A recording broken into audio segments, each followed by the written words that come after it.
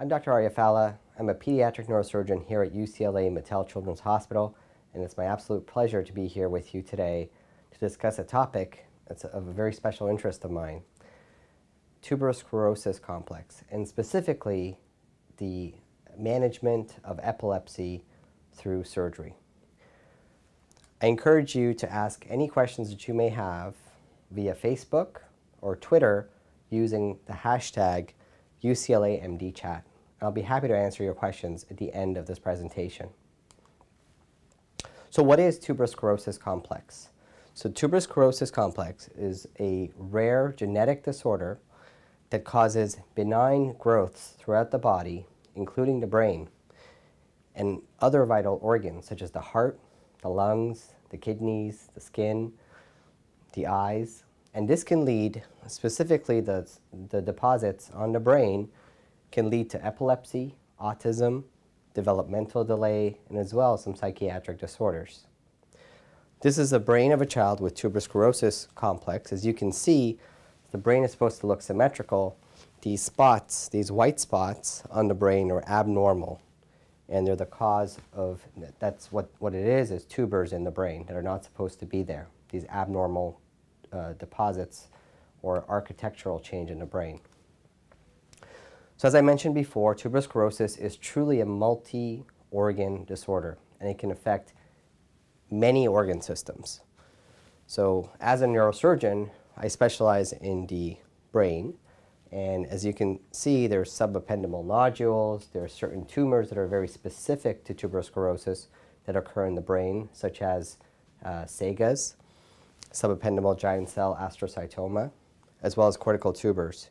You can also have lesions in the eyes, the lungs. In the heart, you can have cardiac rhabdomyomas, which are usually benign tumors, but can cause uh, obstructions in the heart, which is also very important for us to know as surgeons. Um, there's skin lesions as well uh, and kidney lesions. So really it, it affects the entire uh, body.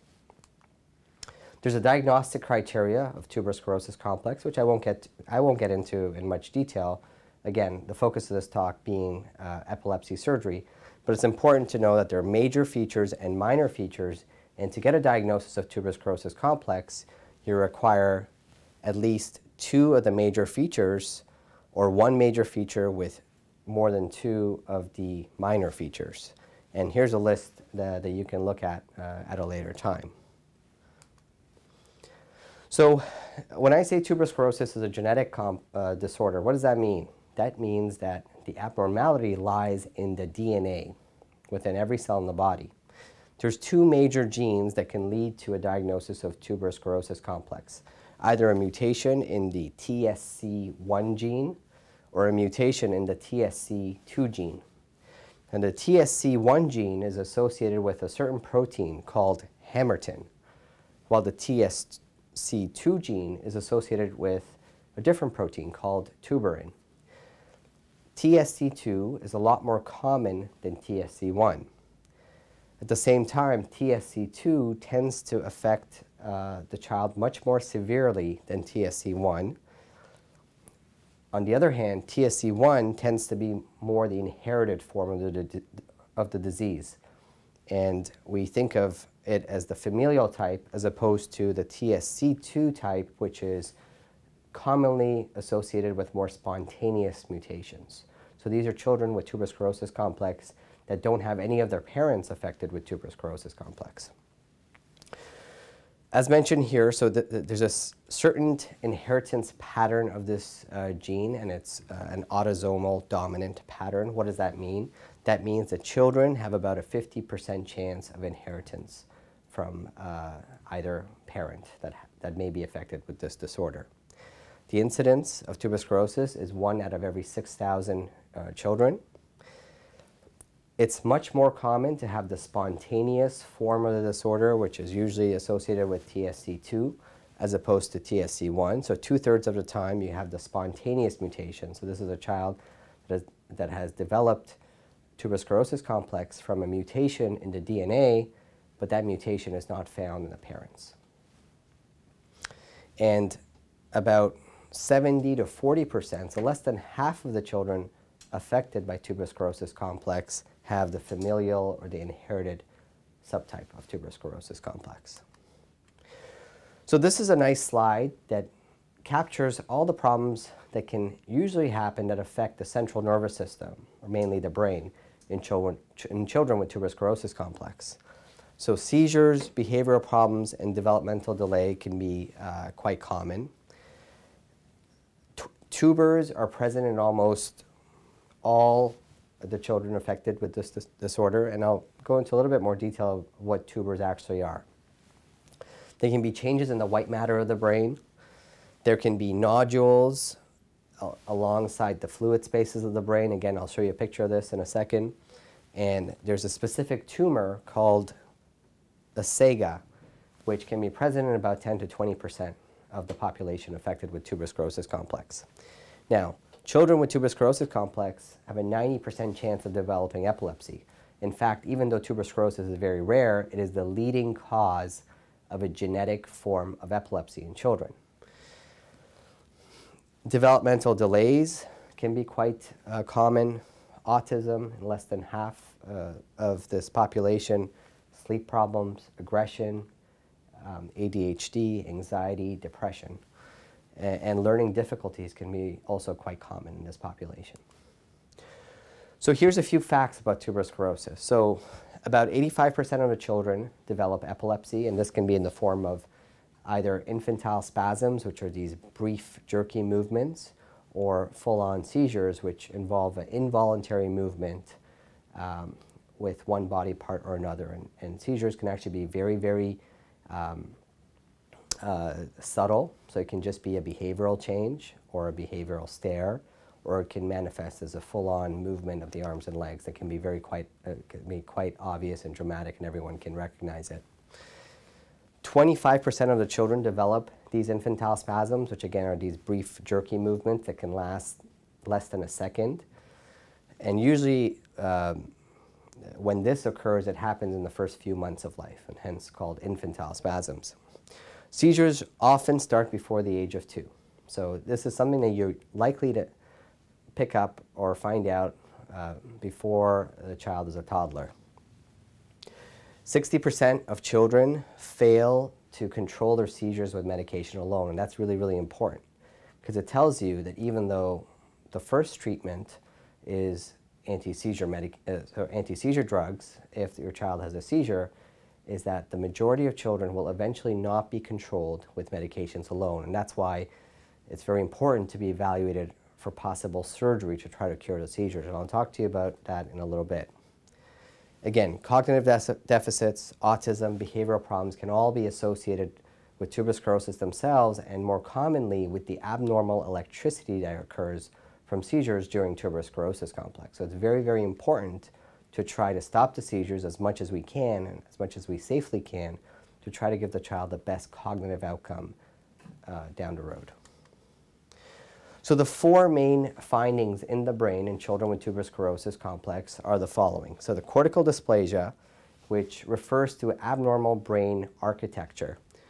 And this often can occur right next to tubers. So um, uh, cortical dysplasia doesn't refer to a, any mass or, or, or tumor in the brain, but it refers to that the normal layers of the brain can be quite disorganized. And for whatever reason, that can be very, very prone to causing epilepsy, in particular the type of epilepsy does, does, that does not respond to medications. Cortical tubers are disorganized area of the brain that contains abnormal cells. So these are large looking uh, neurons or abnormal looking neurons and the architecture of the brain can again uh, be off. And I'll show you a picture of a tuber in the next slide. Now some children have many, many tubers all over the brain. And for some children, they may just have one. Subependymal giant cell astrocytoma, so these are tumors that are very, very specific to tuberous sclerosis complex and they occur deep inside the brain, uh, usually surrounding the fluid spaces of the brain which are called the ventricles. And it is a non-cancerous brain tumor, however it can cause problems by growing. And one of the main problems it can cause is obstruction of the brain fluid from being normally circulated throughout the brain. A an obstruction of that brain fluid can cause a very serious and sometimes a life-threatening problem where we may have to do surgery right away. But if this is detected early and followed, most of the time nowadays we can treat this with a specific medication called everolimus. Uh, and this tends to shrink the tumors the vast majority of the time. If that doesn't work, then surgery is always an option. Lastly, there's these subependymal nodules. So these are small accumulations of cells right around the fluid spaces of the brain. And these themselves can also be a cause of seizures. So it's very important to be very carefully evaluated to see where exactly the seizures may be coming from in a child with tuberous sclerosis complex. So this is a cartoon of the brain showing those four things that we talked about. So the obvious thing here in the middle, this tumor right in the center of the brain, close to the fluid spaces of the brain, is called a SEGA. This is a tumor. If this is detected, we would like to follow it up with serial MRI scans and make sure that it doesn't cause a problem by growing. Obviously, if it grows, we can consider that medication.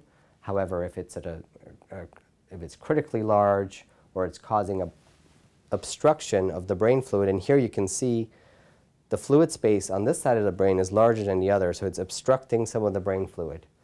Sometimes when that's happening and the child is symptomatic, we consider surgery first. White matter lesions are very common in tuberous sclerosis, and here it's a little bit difficult to see on the screen, but there's abnormalities here. So um, tuberous sclerosis tends to be what we call a migrational disorders and uh, migrational disorder.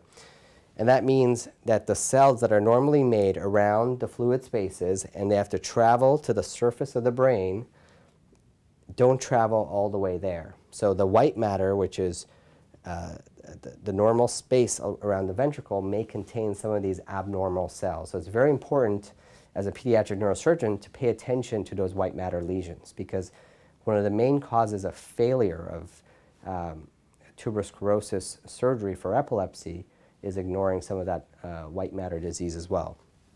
Cortical tubers. Tubers, uh, as a surgeon, they feel like little potatoes in the brain. And the brain kind of feels like a jelly with these little uh, hard nodules, and those are called tubers. And sometimes they can be calcified, and that means is it's, it's very hard. It's like rock hard or bone hard, uh, and can be deposited on the surface of the brain. And these are the primary culprits of epilepsy that we go after. We try to figure out which one of these multiple tubers is causing the seizures. Lastly, the subependymal nodules, a little bit harder to see, but these are these little growths on the inside of the ventricles or the fluid spaces. And again, these can also be a cause of uh, seizure. So very important to pay attention to those as well. This is what a cortical tuber looks like. I want to draw your attention to this part of the brain, which looks normal. So this is what we call gray matter of the brain. There's a ribbon of gray matter, and underneath it is white matter.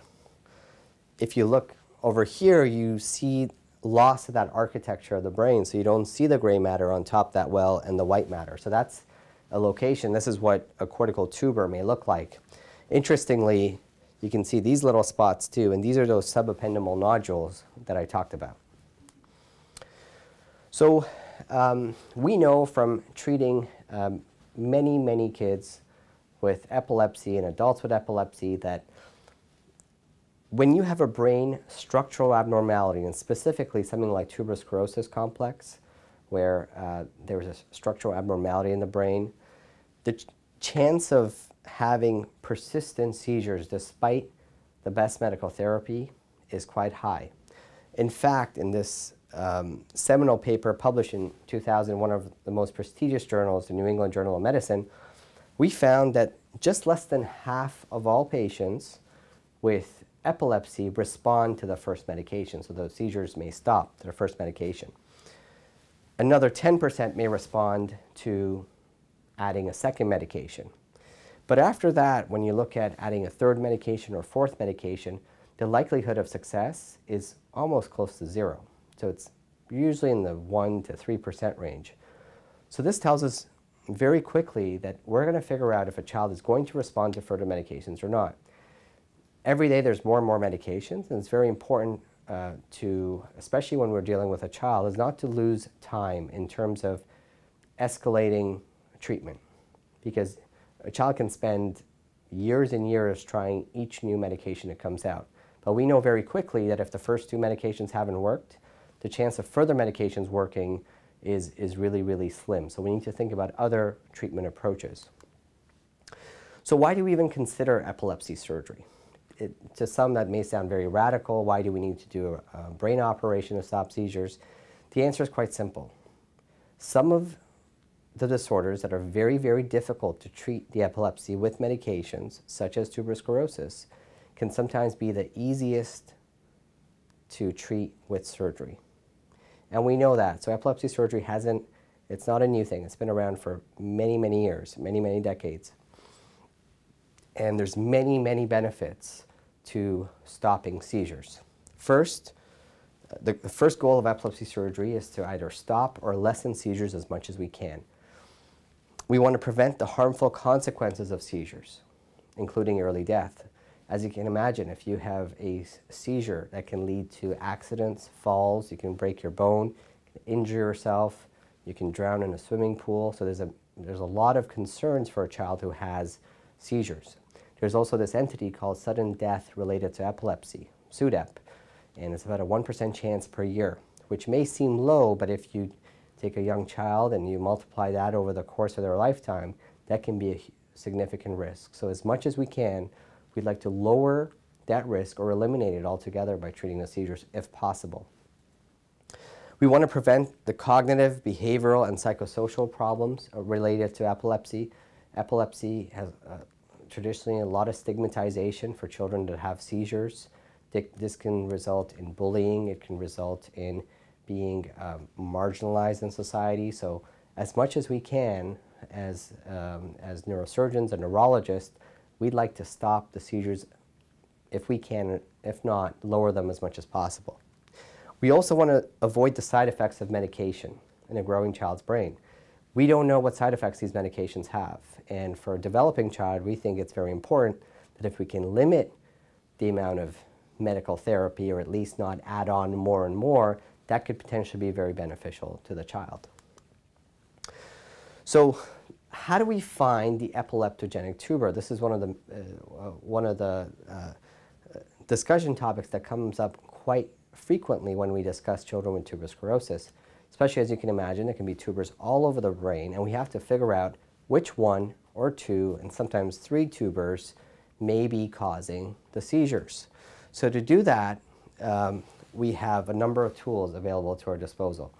First involves seeing a neurologist so they characterize the seizures. And sometimes nowadays, videos are very helpful because you can show your neurologist, and based on the appearance of the seizure, they can tell you where the seizure, or at least they can have a uh, guess as to where the seizures may be coming from.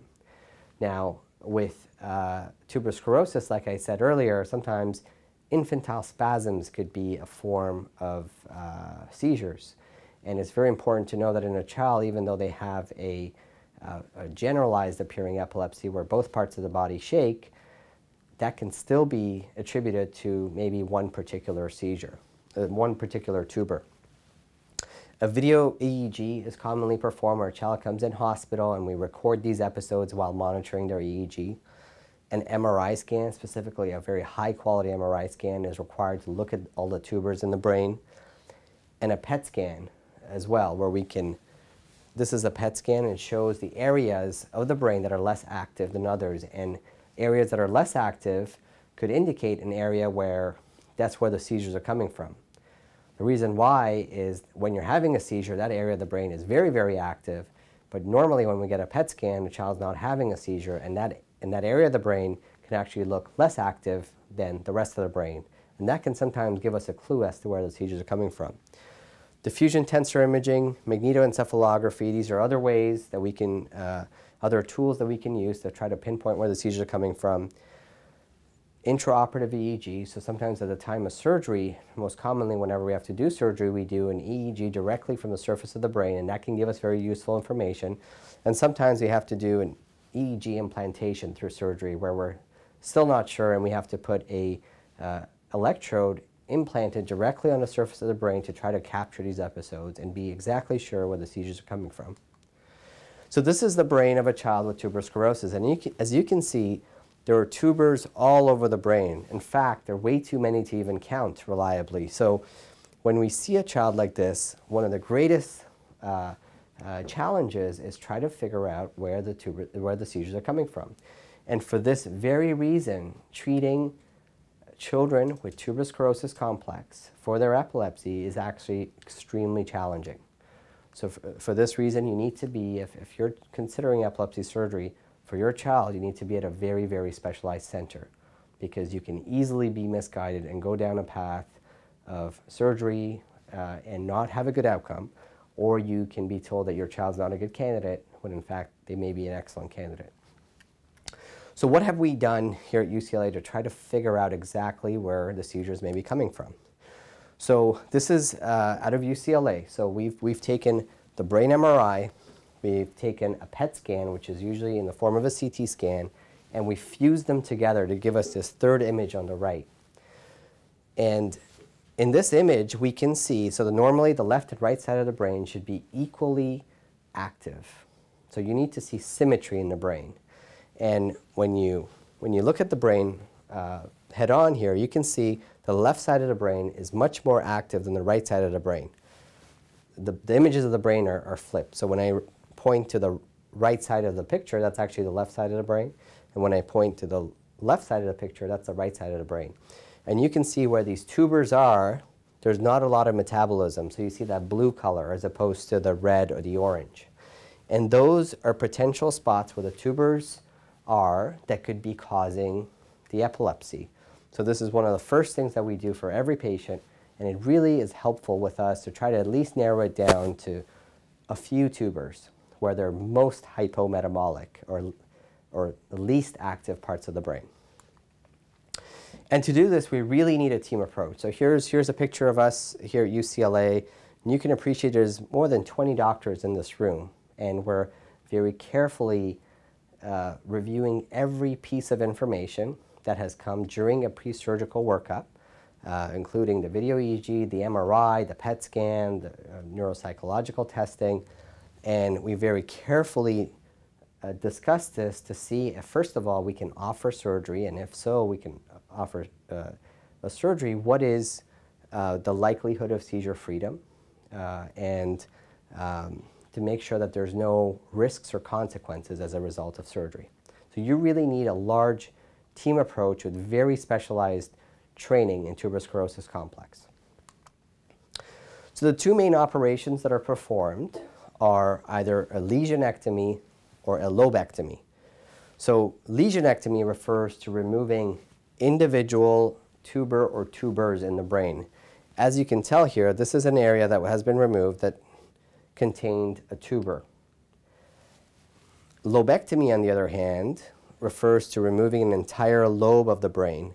So in this case, this is called the temporal lobe. As you can see, this is what it looks like on the other side, but for this side, this brain has been fully removed. And um, so, we, uh, so this is an important consideration. So if your child's being considered for surgery, you need to ask your surgeon, are we doing a lesionectomy, meaning only removing the tuber, versus a lobectomy, which is a little bit larger of an operation. So uh, this is a large study that we did, that uh, I headed, which we've looked at about 10,000 different uh, articles uh, related to tuberous sclerosis, and we've narrowed them down to 20 uh, where uh, they have reported on 100, about 180 patients with tuberous sclerosis. And as you can imagine, tuberous sclerosis is really, really rare diagnosis. So when we gather about 180 participants, that's a very, very large study on tuberous sclerosis to try to figure out what are the successes of surgery. And here we found that a good seizure outcome can be achieved in about 70% of children. So that means either a class 1 outcome, which means free of all seizures, or a class 2 outcome, which means you have rare seizures, or only, only once in a while. And we consider those really good outcomes. And predictors, we were looking at what are the factors that may predict a good seizure outcome in these children. And we found absence of generalized seizures. So if the onset of the seizure looks like it's involving both sides of the brain, that's not a good predictive sign no or mild developmental delay, so the less developmental delay the child has, the more likely we can result, it can result in a good outcome. Making sure all the EEG abnormalities are in one particular focus of the brain. And lastly, if your EEG and MRI correspond with the same area, so the more the tests all point to the same area of the brain, the more confidently I can say that removing that area of the brain can result in seizure freedom. So I followed this up by doing a study with six major centers across the country, both in the United States and Canada, that are considered some of the experts in uh, tuberous sclerosis complex.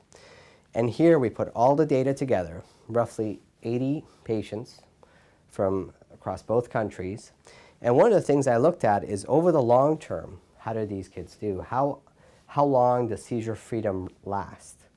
And although we traditionally think of seizure freedom, um, knowing how well the child will do after about a year from surgery, we realize that with tuberous sclerosis, a year doesn't really tell you the whole picture.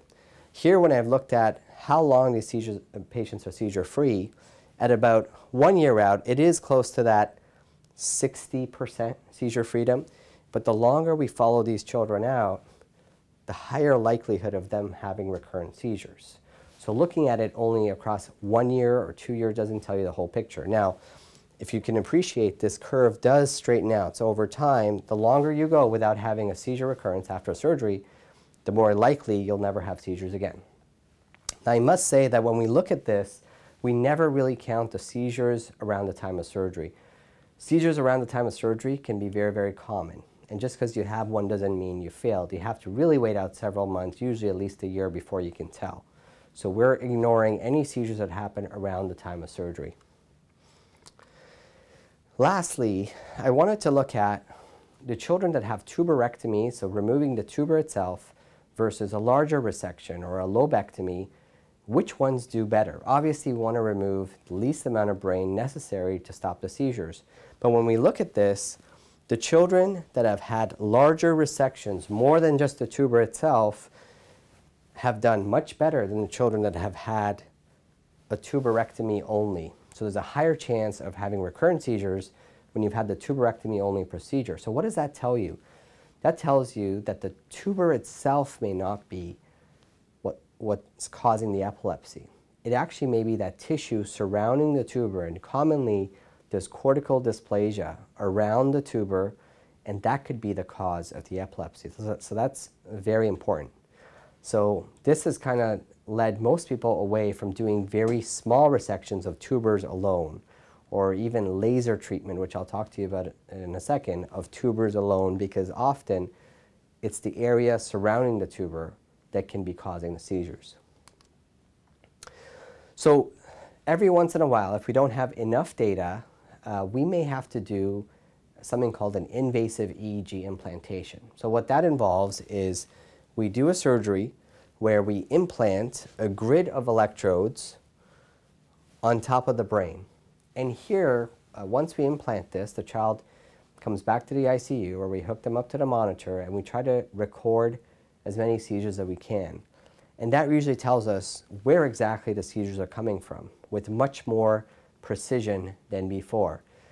Not only we can tell that, but we can also do uh, uh something called brain mapping, where we can figure out where exactly the motor area of the brain is, the sensory area, the language area, and make sure that any area that we need to remove does not involve those important areas of the brain.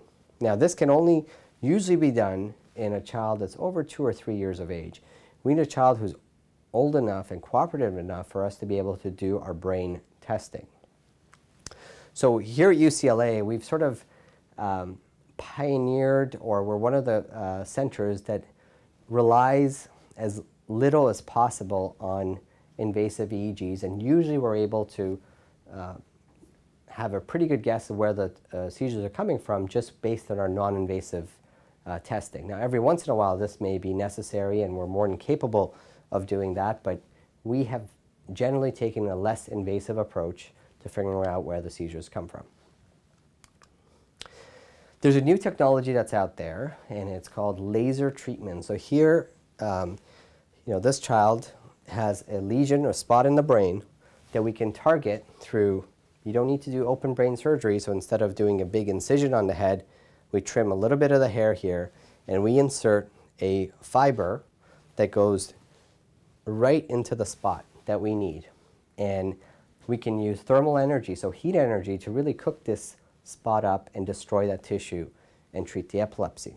Now this has been tried for tuberous sclerosis and the early results show that they're not as effective as traditional open brain surgery.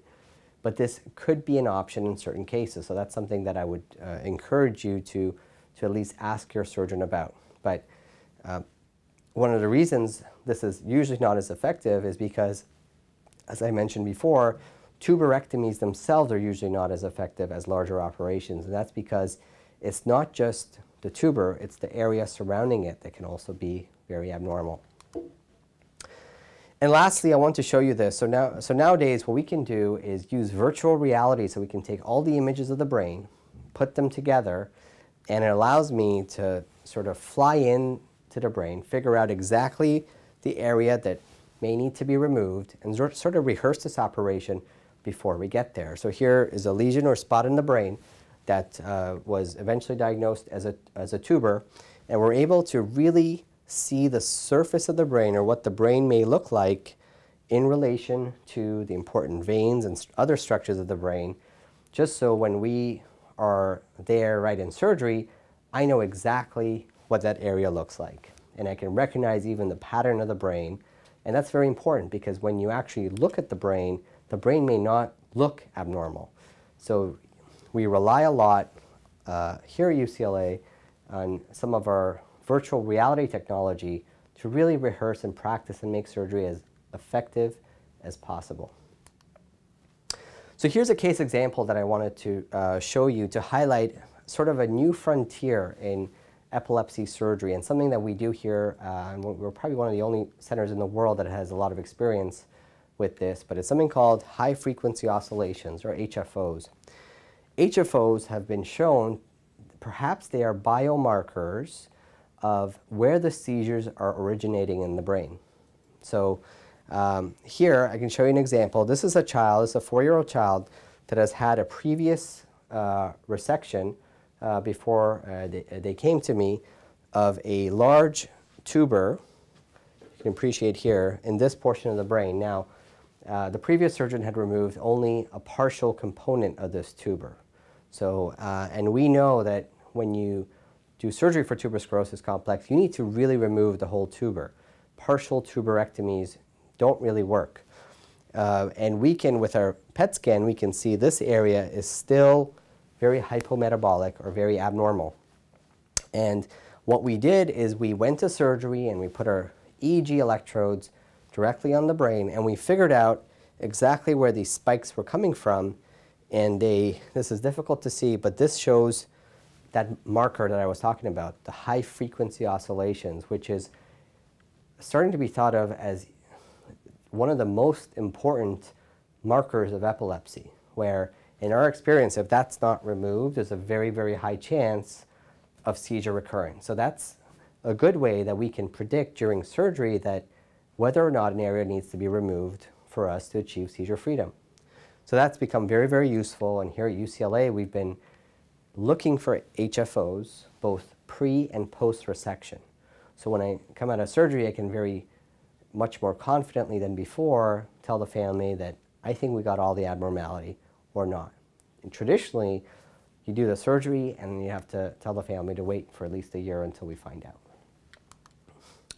So here's a few uh, of my surgical pearls. I spent a lot of time treating tuberous sclerosis complex and I'm the main epilepsy surgeon here at UCLA, and we specialize in tuberous sclerosis. So we have a lot of uh, pearls that we've picked up uh, along the years that I'd like to tell you about uh, the surgical management of um, epilepsy and tuberous sclerosis complex. One is that incomplete resections of tubers don't work. So if you have a large tuber and you remove a part of it, that doesn't, that doesn't work. And we generally have to go back and at least remove all of the tuber, if not some of the surrounding brain that may be abnormal or may contain cortical dysplasia.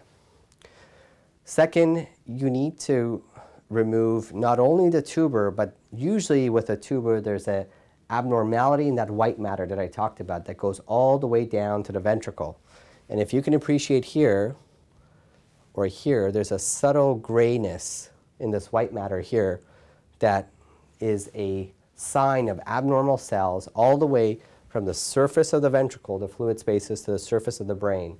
And to have a good outcome, it's very important to not only remove all of that, but all the way down to the ventricle. So a good resection usually means that the surgeon ends up in the fluid spaces of the brain at the end of the operation. And once you're there, you know you have all the abnormality. Just removing a small piece on the surface may cause seizures to uh, be generated from those deeper abnormalities in the brain. We found that um, analysis of HFOs both prior to and after the surgical resection is very, very helpful in telling us whether there's further uh, tissue there that can cause seizures. And lastly, um, uh, like I mentioned before, it's very important to not only check before you've removed uh, the tissue, but also after to make sure that there's, you don't need to extend the resection in any way to achieve seizure freedom. I want to transition a little bit about talking about palliative treatments for tuberous sclerosis complex. Not every child who will be worked up for potential surgery will be a candidate. Some of those situations may be that the, that the seizures are arising from multiple tubers of the brain or they're, or they're um, uh, starting from the entire brain, or it's called a generalized epilepsy. And in those situations, removing one portion of the brain may not be effective. Or you may find that in an older child, if the tuber is located in a very eloquent area of the brain that carries a lot of function, that it may not be safe to remove that part, as that can cause a unwanted neurological deficit. So in those situations, vagal nerve stimulation is a great alternative for these children. This is an implantable device that wraps around the nerve, one of the main nerves that goes to the brain is called the vagus nerve. And it's a pacemaker-like device that sits under the skin, right over the chest, and it generates electrical signals that go through this nerve to the brain. And this can cause a significant reduction in the number of seizures and also the severity of these seizures. And uh, it is a great alternative for children that are not candidates for epilepsy surgery. Lastly, I want to talk to you about a procedure that's becoming less and less uh, popular here in the United States, but uh, is still sometimes a very good option. It's called a corpus callosotomy. Here, for a very specific type of seizure, which is called the um, atonic seizures, this is a sudden loss of tone which results in falls. A child may fall and hit their head or hit their arm and hurt themselves, that removing the corpus callosum, where this is the main highway of the brain where the left and the right part of the brain communicate, by doing open surgery to remove that structure, it prevents seizures from starting from one side and going to the other side, causing the fall. And it can be a very effective treatment uh, for that specific seizure type without the need to put in a permanent implantable device like a vagal nerve stimulator. So take-home messages here about tuberous sclerosis is that children affected with tuberous sclerosis commonly can develop spasms or seizures that are usually not responsive to medical therapy. Although we want to start with medical therapy, usually uh, they don't respond completely. Now, in order to prevent harmful long effects from uncontrolled seizures, you need very careful and timely consideration of resective epilepsy surgery. We want to do this once we've established that the child's not going to respond to further medications. We want to pursue the surgical treatment as soon as possible. The sooner we can do this, the higher likelihood of a good surgical outcome. The reason why is also as the child is younger, there's more brain plasticity or the brain's ability to rewire itself. So um, we can be more aggressive in making sure we remove all the abnormal parts, knowing that the brain will recover and likely uh, uh, regain a lot of those functions that may have been lost from surgery. The longer you wait, this may not be an option. And also the other thing is, if your child is a good candidate for epilepsy surgery today, it doesn't necessarily mean that they may be a good candidate down the road because seizures beget seizures. The, the longer the brain has been seizing, uh, the more likely that other spots in the brain that weren't generating seizures can start generating their own seizures, and your child may not be a candidate for epilepsy surgery.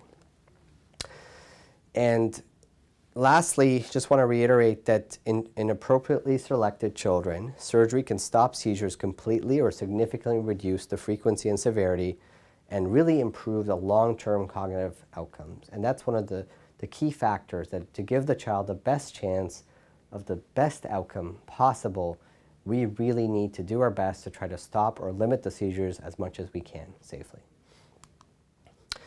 Here at UCLA, we, uh, as along with many other centers across the country, we have designated tuberous sclerosis clinics. I definitely urge you to look at uh, what may be available in your area. And this is a very rare genetic disorder that, uh, in my opinion, really needs a very designated clinic to, to look after these children most effectively.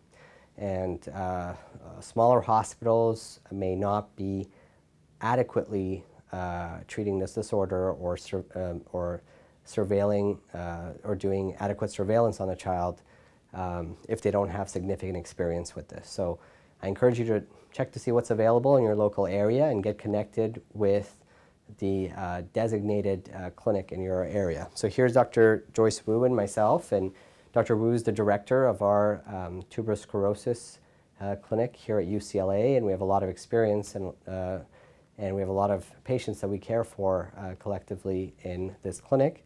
Oftentimes it's also uh, important to send the child to see a geneticist, ophthalmologist, a cardiologist, a pulmonologist, nephrologist, dermatologist. So there's a lot of specialists that we work with. Again, I specialize in the surgical treatment of epilepsy, but oftentimes it's very important to get a lot of these other specialists on board as well to, to get the most effective surveillance and uh, treatment when necessary. Here's a couple uh, great resources. Um, one, uh, you can go on our website here. The tuberous sclerosis uh, complex uh, program will give you some more information regarding tuberous sclerosis complex and also direct you to our uh, clinic. A great organization and huge advocate children with tuberous sclerosis is the Tuberous Sclerosis Alliance, where you can find extremely, extremely valuable information by um, uh, on this website that can be very helpful. Uh, and I hope to uh, answer any questions. Thank you for your time and listening to this webinar, and I hope to answer questions that you may have. Okay, so uh, the first question is, can tubers grow back? That's an excellent question. So I would say that tubers generally don't uh, tend to grow back, um, uh, except for um, if you have SEGAs or those tumors in the brain that can actually grow. So that's, that's something that's important for us once that's established to follow it in the long term to make sure that it doesn't regrow or get larger with time. Can new tubers start to cause seizures? Yes, they can. So sometimes after epilepsy surgery and when you've identified one or two abnormal tubers that you've successfully removed, down the road a different tuber that may not have been seizing before or may have been seizing, but the signals have been completely uh, overshadowed by these very, very abnormal tubers, can decide to generate their own seizure. So it's very important to have long-term follow-up after surgery. And lastly, is laser therapy of tubers always an option? Um, I wouldn't say it's always an option. A laser therapy uh, is an option, and uh, uh, depending on the area that needs to be um, uh, area of the brain that needs to be destroyed to stop the seizures. If that area is small enough, laser can be a good option and a minimally invasive option, but generally the successes aren't as effective as traditional open brain surgery, uh, as we have seen. Thank you for your time. It's been a pleasure, and uh, uh, thanks for listening.